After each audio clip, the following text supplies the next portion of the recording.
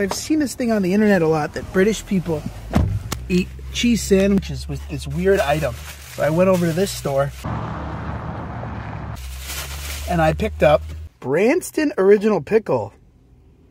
It's, uh, we're to go home and open it up, but apparently you're supposed to. Perfect partner to live up your cheese sandwich or cheese board.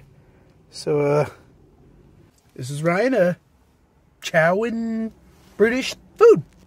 Here we go. I got a nice English Gloucester cheese, uh, some margarine, yeah, some pickled onions, some bread, and some Branston pickle. We'll finish it off with chocolate covered digestive cookies.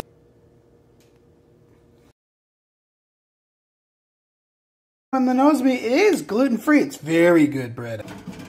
All right, we'll toast it up.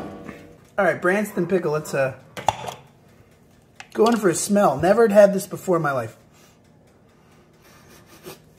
It's barbecue sauce. Kind of chunky. It has nothing to do with what we consider North American cucumber pickles. Kind of looks more like a, a chutney. See, it's chunky. What the hell is that? Kind of like HP sauce and veggies or something.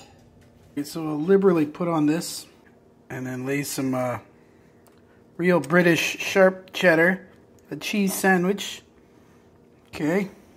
And now for the special, the special guy, uh, I don't know, how much do I add? Is that enough? Branston pickle. It's got a rutabaga, carrot, onion, cauliflower. All right, here we go. There it is. The Branston Pickle Sandwich.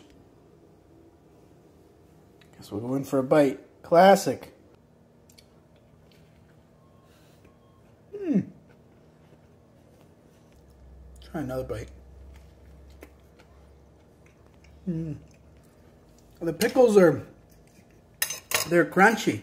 They're, um, it's kind of nice. I'm gonna, I know I'm not supposed to. Got a good smoky flavor.